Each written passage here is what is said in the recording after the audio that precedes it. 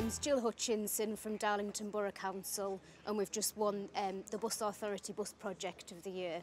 Um, it's brilliant for Darlington. Obviously we've done a lot within Darlington to improve bus services so it means a lot for us that it's been recognised at this award ceremony. Over the next 12 months we'd like to achieve um, more patronage growth um, and just more people using our bus services through the improvements we've made in Darlington.